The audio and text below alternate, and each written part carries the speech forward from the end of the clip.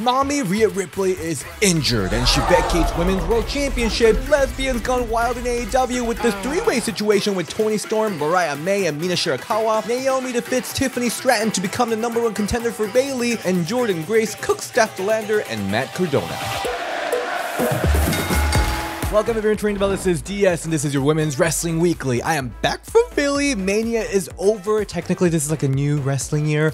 And hope you loved our special interview with Foxy and Mickie James ahead of their match at Her in Australia. They killed it in the ring. Congratulations to VixCrow on your wrestling return. We really missed you in there. And of course, Damage Control, Iyo Sky, and Dakota Kai interview. And you know we got so much interviews lined up. But the wrestling does not have off season. We've got so much going on with WWE. AEW is really popping up this week with storylines. So let's get right into everything that's going on. On SmackDown, we had the new WWE Women's Undisputed Champion Bayley come out with thunderous "You Deserve It" chant, and she's a true babyface queen here. She thanks to Fan for the 11 years of her career and motivating her every step of the way, and she is ready for this new journey to give out new opportunities. Watching this, I remember why she was such a good babyface back in the days. Like she's one of the very few babyface that comes across so really genuine. But I do wish that she brought some fun aspects of her as a heel. Ding dong. Anyway, cues Tiffany Stratton back to her old theme song that I love more. And we gotta get to the bottom of this changing theme song saga. She talked about it in our interview a little bit. The music change I asked for. Yeah, I know everyone hates it. However, like, get used to it because it's my music now. Her clueless inspired gear was so freaking cute. And she says she's annoyed that she didn't get to be part of Mania, but it is Tiffy time now. And she accepts Bayley's open challenge, which she never gave out. And Bayley is like, awkward, this was actually not an open challenge. And the reveal is that she was actually gonna get Naomi to be her challenger, with Tiffany going, she can't win a title if it glowed in the dark. And Naomi comes out all pissed off, a little bit because of Tiffany, but also because her husband got in some trouble earlier in the show. She says she can't accept Bayley's challenge yet, because she's gonna beat Tiffany's ass. And this match was really fun. Naomi again is pissed as hell. She already lost to Tiffany like a month ago, so she came in super strong at her. Rapid fire, bulldog leg drop, split leg drop, everything. But Tiffany catches Naomi's second corner ass shake spot and reverses into Alabama Slam and attempts the prettiest moonsault ever, but misses and Naomi catches her with the jackknife pin for the win in 9 minutes. And just like that, Naomi's gonna get the championship opportunity next week on SmackDown. I was so scared that Naomi's going to lose again right after a WrestleMania win. And Tiffany, I love her, but she does not need an undefeated streak like Jade. She's still so fat, so popular, and this might be a very interesting three-way feud for Backlash, because we all know Bayley is retaining in Backlash. Then we got a tag match, Bianca Belair and Jade Cargill versus Chelsea Green and Piper Niven, a follow-up to Jade destroying Chelsea on Raw. Jade's entrance, by the way, is probably one of the best women's entrances in the roster, maybe the best entrance of all. The lighting, the smoke, the presentation is just so spectacular, and Bianca Belair here was wearing this matching lavender gear, which looks so cute. This tag team is like too much star power right now, but I guess they are tagging for a bit. Commentary will keep mentioning them as a tag team, saying that they will change the tag team landscape. If they're gonna continue, they definitely will be. Piper and Bianca had a bit of a cute moment in this match. Even Piper doing that little hair stuff was really fun, but this was all about Jade Cargill squashing Chelsea Green yet again. The chokeslam was bit of a miss, but that kick was brutal and she hits Jaded for the win in like one minute. It's a squash, but a delicious squash. Are people really annoyed that this match was short? This is like Jade's first week actually wrestling in WWE. Give her a break. I love Bianca and Jade as a team, probably the strongest tag team in the history of tag teams, but we all know they'll have to split. Who do you think will turn? Either way, I'm very satisfied. So WrestleMania season is always so freaking busy for me. Like I was in New York, Indianapolis, and Philly, all in a span of a month to get some big interviews for you guys. And when you're busy like that, it's really difficult to get healthy, delicious food. And that's why I'm so grateful for today's sponsor, Factor. So Monday's always busy for me because I'm like editing the review video and I'm watching Raw. So I usually deliver food, which is like getting really expensive. So Factor, just two minute microwave, I've been loving it. Look how delicious it looks. Eating chicken, watching Julius Creed wrestle. Mm. This is why I love Factor's sponsorship. I literally love the food. It's so delicious. I was stress-free thanks to Factor's delicious, ready-to-eat meals. Every fresh, never frozen meal is chef-crafted, dietitian approved, and ready to eat in just two minutes. Look how good that looks! And it's so easy, no fuss, no mess. Factor meals eliminate the hassle of prepping, cooking, or cleaning up. Just simply heat and savor the good stuff. And I also love that I could tailor it to my schedule. With Factor, you can customize your weekly meals with the flexibility to get you as much or as little as you need. Just got back from workout, another Factor. I would plate it, but I'm too tired, so I'm just gonna eat it from the packaging. Full on steak here.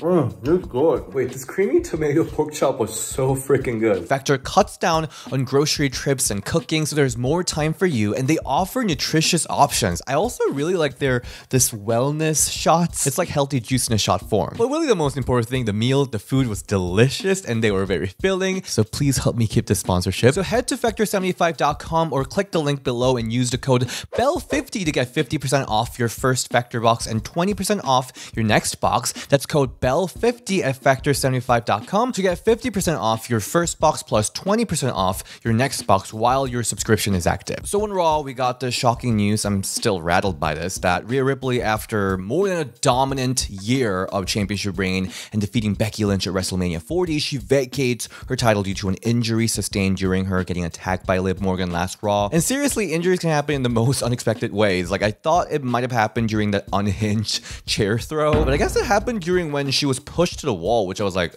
Huh, okay. Anyway, so Rhea opens Raw with the sling, and you can tell that she's really not happy about the situation. And she says when she comes back, she's coming back for some blood. She is pissed, you can tell. And you can hear the crowd booing Liv. Oh, Liv's heel era is coming. And then we see Liv come out to just laugh her ass off at Rhea Ripley with security separating the two, and frustrated mommy headbutts one of the security guys to finish this segment. And backstage, Judgment Day hugs Rhea, giving her a heartwarming send off. And this was really cute because she goes, Te amo to Dom mom.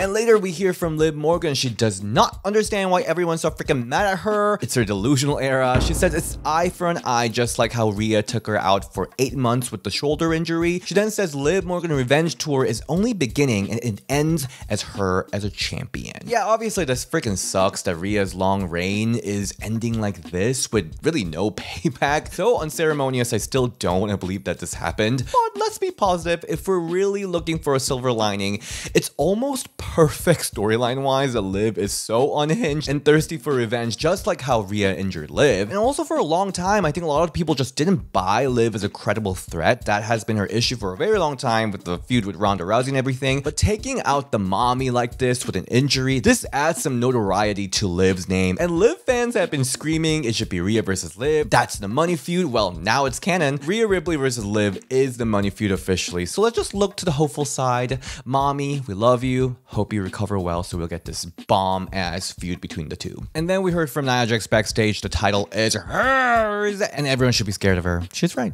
She's, she's really right. And then as I was thinking, I guess like we'll figure out what they're gonna do later, the commentator just announced that the new women's champion will be crowned next week on Raw. And I'm just like, wait, what? Like, there's no tournament? There's like nothing? Yeah, they will be crowning a new champion. Not known if it will be Battle Royale, ladder match, I don't know, like tournament. It's very intriguing, and I love that they're just going right at it. They're going to crown the new champion right away. Who do you think will be the new champion? I guess it'll have to be between Liv and Nia, right? It's very interesting. I will be tuning in next week. We then got a tag match, Candice LeRae and Indi Hartwell versus Ivy Nile and Maxxine Dupri. Maxxine Dupri was rocking this beautiful red gear inspired by Nikki Bella. And here, Maxxine showed some cute moves, the Northern Light suplex with the bridge, and that DDT was really cute. But this was all about Indi walking the way with Candice. And we see Indi cheat and distract referee from seeing Maxxine tag Ivy. Then she big boots Maxxine behind referee's back, helping Candice pick up a cheat win. Oh yeah, she made the right choice. She's walking with Candice, and I freaking love it.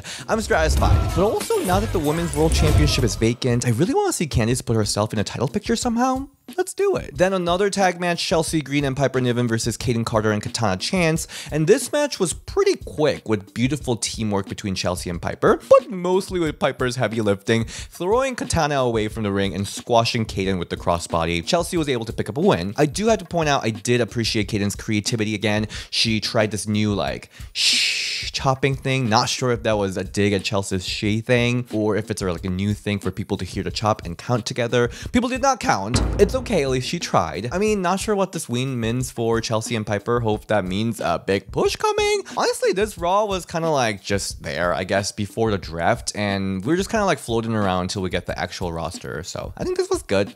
Uh, good. Not bad. NXT had tons of stuff happening, so we start out with the new NXT Women's Champion Roxanne Perez promo. By the way, apologies, I just did not have time to watch and film Stand and Deliver review in Philadelphia. I was working my ass off like every freaking day, and I unfortunately kind of lost my window for reviewing Stand and Deliver, but I just got to watch this match. It was so freaking good. I'm so proud of both of them. And Roxanne, I feel so dumb for being worried about her heel work, giving a bit of Alexa and AJ. She just comes out here telling crowd doing the you deserve it chant to shut the hell up, because she does not give a fuck about crowd anymore. I mean, NXT crowd, you pissed her off when you were booing her in front of Becky Lynch. That was embarrassing. But yeah, I freaking love her, how she was just owning the crowd, not letting them interrupt the champion at all. She says she didn't even care that Lyra's arm wasn't 100%. And she even says that she's never gonna lose a title because she's just gonna give up when she gets drafted to Raw or SmackDown. She's such a good heel, does not give a damn. And the ex-champion Lyra Valkyria comes out in an arm brace saying that she wants to use a rematch clause right now. Being all dumb, she's clearly not medically cleared. Then Tatum Paxley, Lyra's number one fan, emerges from the crowd. Then Lyra like apologized for yelling at her. I was just upset, but I'm all good, I can fight.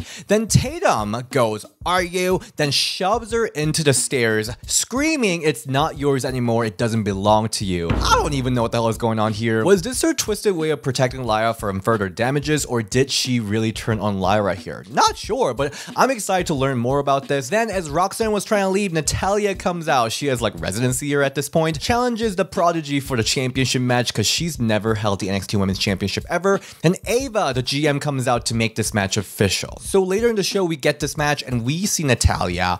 I guessed so hard because her gear was some next level mothery. Like, what is going on? She really said, I'm gonna get the sexiest gear possible when facing this kid, Roxanne. And this match was fantastic. Like, we know NXT Natalya hits differently, but this match might be one of Natalya's best matches ever. Natty and Roxanne had insane chemistry. Wrestling matches usually goes like this, you know, like ups and downs. But this match got me on a high for the last three, four minutes. Their back and forth was so good. And at the end, Roxanne like crawls out of the sharpshooter to the outside. Then when Natty was out there to get her, Lola Vice runs in and like very gently kicks Natty's leg. And I'm just like, what? If you're gonna cost this damn match, you better clock Natty, not that gentle tush toy. And using this opportunity, Roxanne hits Pop Rox for the win in 12 minutes. And Lola's just doing that unserious hip dance outside. I mean, this was an incredible match. I'm so, so freaking satisfied. And as Lola is cutting promo about how she's got her eyes on NXT Women's Championship, NXT Women's North American Championship, she gets attacked by angry Natalya, starting a huge brawl. Yeah, so if you missed it, they also just announced NXT Women's North American Championship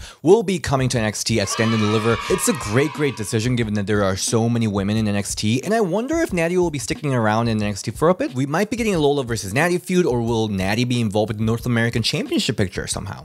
We'll see. Then we got Kiana James and Izzy Dame versus Kelani Jordan tag match following the six women tag match at Stand and Deliver where the Mean Girls lost. But here at the end of the match, Fallon tries to push Kelani out of Izzy's kick but gets hit with it instead. And Kiana hits Fallon with the 401k for the win. All four of the women here I think are like top contenders for the North American Championship. I mean, my personal pick will probably be Lash Legend. But even Izzy here, who started out a bit later than the other three, she really stood out during this tag match. Her gear was really, really cute. This was a good match. I'm very satisfied. Then another match. We got a singles match. Jaida Parker versus Brinley Reece. Brinley's gear here was really cute and unique, and she's a great athlete. But I do think she's still trying to solidify her standing, her unique character, given that her current one feels a little bit somewhere in between Thea and Sol Ruca. I'll say the noteworthy thing about this match was the finish when Jaida introduced yet another finisher. It's called Hip Check. It's like a hip attack, just not in a corner like other people. I mean, I don't know. This is like worst version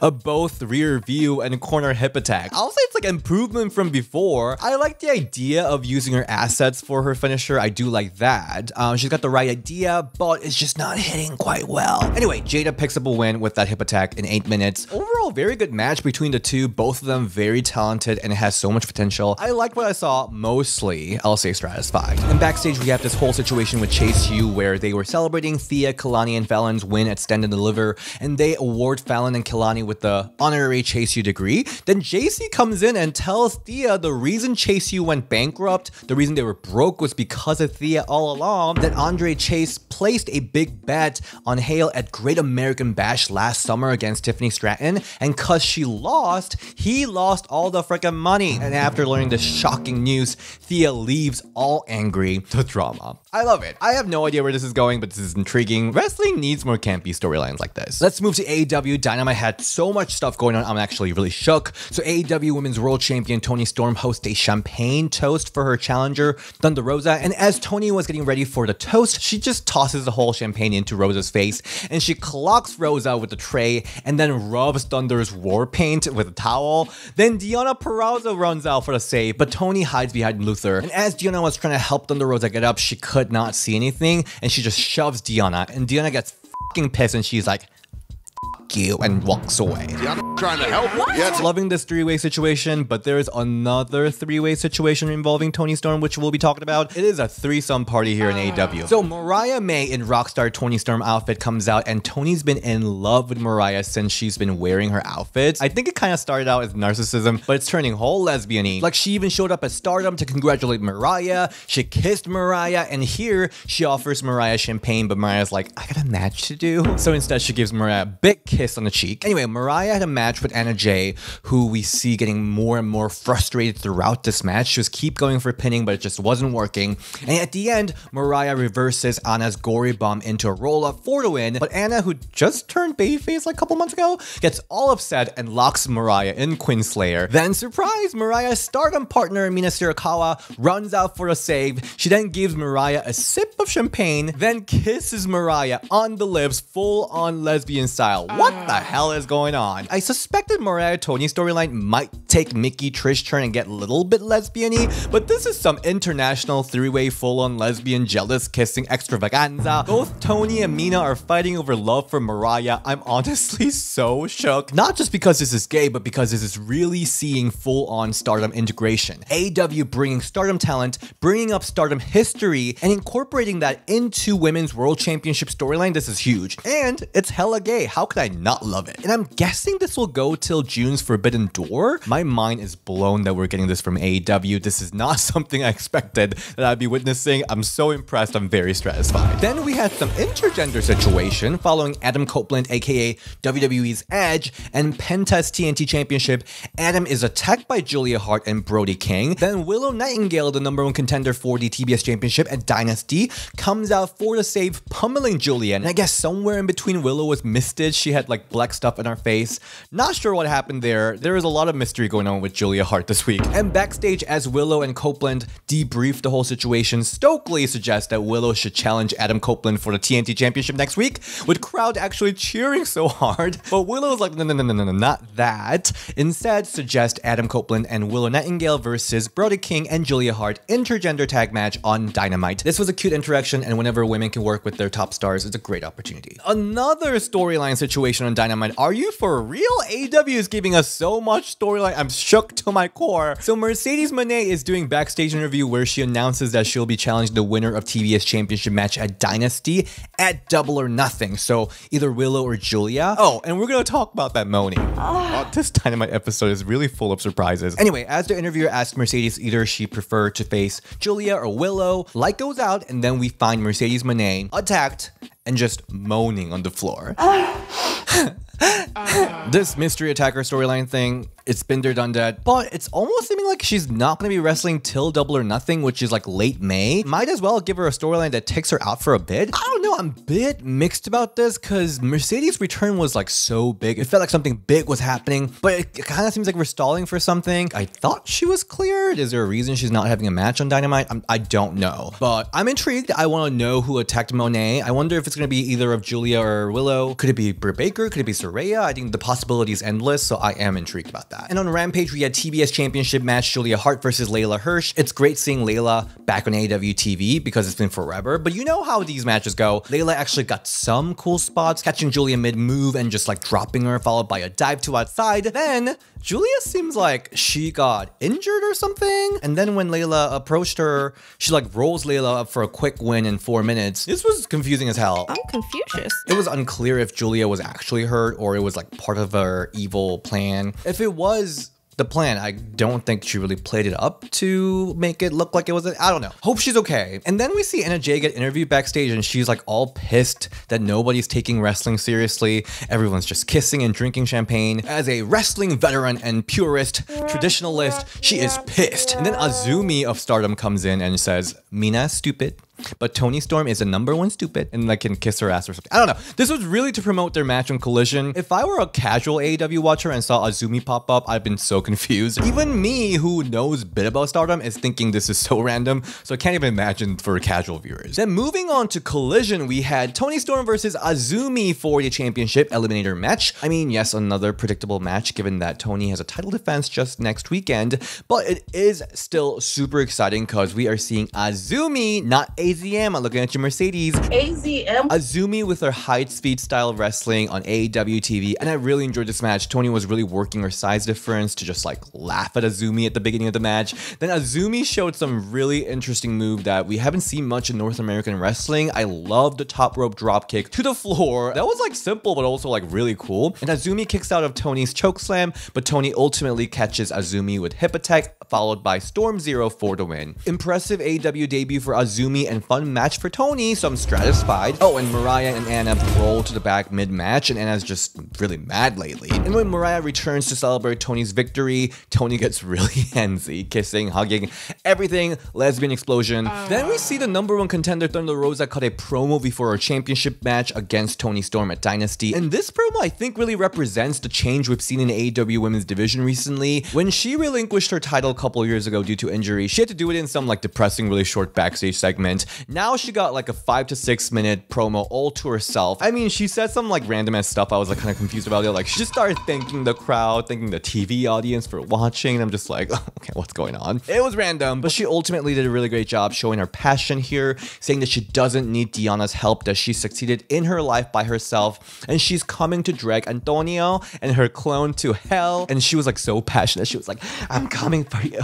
I'm coming for you. It was like borderline too much and cool, but I think it was still in a cool category. I also really appreciate this because she's almost in the shadow of Mariah May and Toni Storm unhingedness, the lesbianism. So I'm glad that she got to shine and have her moment like this. And this part's new. I'm gonna try to review ROH 2. I had such a good time at Supercard of Honor. They've got great women's roster, storylines, and action going on, so I really want to start including them in weekly reviews. This week wasn't the best week to start though. We got two squash matches. Nyla Rose squashes Ket Von Heed in a minute with a frog splash, and Jay squashing Let Me Know, or sorry, LMK in two minutes with the gory bomb. But we got some like interesting backstage fallouts from the Supercard of Honor. We did a little bit of a replay of how Billie Starkz became the inaugural women's TV champion by faking a neck injury. And backstage, when she sees her mom to celebrate, her mom starts yelling at her for not having the honor. This is Ring of Honor. This is all about honor. And how Athena is a bad influence on her. But Athena welcomes Billie with open arms to celebrate her big win. This was a cute moment. I do love her mom as a character. And then we see another fallout moment from backstage where Mina and Mariah May celebrate their wins with champagne toast and a kiss. Again, we're going full lesbian here, and we love it. And we got another AW show. When AW has shows, they're gonna have a lot of a lot of shows in a week. But really, it was ROH showcase because ROH Women's Champion Athena versus Red Velvet was the match we got. And I love how in the interview on Collision, Athena was like, "The world will see what they've been missing," as if she wasn't the champion for two years or whatever. But we know exactly what she means. It's because it's one of the first times she was featured as ROH Women's Champion on AEW TV. So this is great. For some reason, ROH men would always pop up on AEW TV, but ROH women never did. They just get stuck there, never to be seen on AEW TV. This match was as spectacular as you can expect from the two. Red Velvet really shouldn't be slept on. Like, guys, open your freaking eyes. She brought really creative moves here, pushing Athena to the corner, the Hurricanrana into the inverted DDT. The top rope wheelbarrow was just beautiful, but Athena is Dominion Overlord, the longest reigning ROH Women's Champion for a reason. She catches Red jumping all the way from the top rope from the outside midair and just ragdolls around and finishes her off with a beautiful O face picking up the win. Then we got post-match beatdown with her and the ROH Women's TV Champion Billie Starkz, but Queen Aminata, who lost to Billie by cheating at ROH Supercard of Honor, runs out for Red's save and she lands this beautiful, beautiful air raid on Athena, standing tall with Red. Damn, it's good to see Queen Aminata back on AEW TV too, but this time she has storyline, she's got character, she's got motivation, she's pissed as hell for losing in that fashion. Really great to see this ROH stuff happening on AEW TV. They better do this more often. I really like this. I'm satisfied. Moving to TNA, we got a contract signing between Jordynne Grace and Steph De Lander for Rebellion Knockouts Championship match. And the way Jordynne cooked Steph here, aka SDL and Matt Cardona, she says, I already defeated you before and your boyfriend, pointing at Cardona and your boyfriend's wife, aka Chelsea Green, when she was in Impact. This was so gag. Then she goes, I'm the juggernaut with Cardona going, don't talk to her like that. Then Jordynne goes like, I wasn't talking to her. Jordynne is really surprising me lately. Like, I knew that she was badass in the ring, but she recently outed herself as a full-on diva stan. That video of her crying at meeting Foxy, I love that so much. And now she's owning on the mic. I love it. I love it so much. It's so good. I can't wait for this match. I also love how TNA thought they don't have enough competitions for Jordynne inside the company. So they're bringing SDL. They also announced Miyu Yamashita match, so we're getting that soon. Anyway, this contract signing, per usual, doesn't end well. It ends with Jordynne Grace going through a table by staff. It was great. Then backstage, we see this cute moment where Ash by Elegance tries to pull a trick saying, Oh, Steph won the number one contender match as my replacement, so I should be the number one contender, that bullshit. But the authority, Santino Marella, is like, next crazy. We also see the system trying to pair Masha and Alisha Edwards for the Knockouts Tag Team Championship opportunity because Killer Kelly's taking time off. And then we see Decay ask for their rematch clause for the Knockouts Tag Team Championship at Rebellion against Jody Threat and Dani Luna. Wow, that was a lot, but that is what we have for the Women's Wrestling Weekly. Things are really different because AEW is like really trying with their storyline. Things are really popping. I'm really liking it. The reviews are getting a little longer, which I'm a little worried about, but it is what it is. The wrestling's really good. And also, just don't forget to subscribe. There's so much interviews coming out. Literally, I thought I'll be taking some time off when the Mania is done, but I have so much freaking work to do. There's a lot of interviews to edit. Some of them are kind of time sensitive. You know how it goes. And I also just filmed Hall of Fame Toot and Boot episode with Kimura Hall. Literally, I got like 100 DMs about it. Even DMs from like the wrestlers themselves. So, so this is a highly popular episode. I get it, so that's gonna come out very soon too. If you wanna follow me, you can follow me on Instagram at DShin and Ring the Belle DS on Twitter, and I'll see you next time. Bye!